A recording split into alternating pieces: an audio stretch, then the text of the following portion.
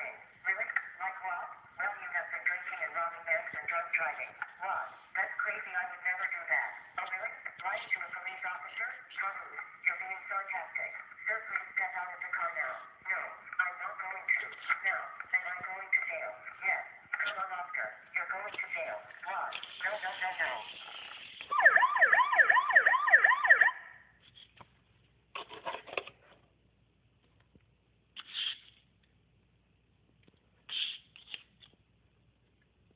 I'm really sorry, officer. What did I do to get arrested? Oh, shut up, Oscar.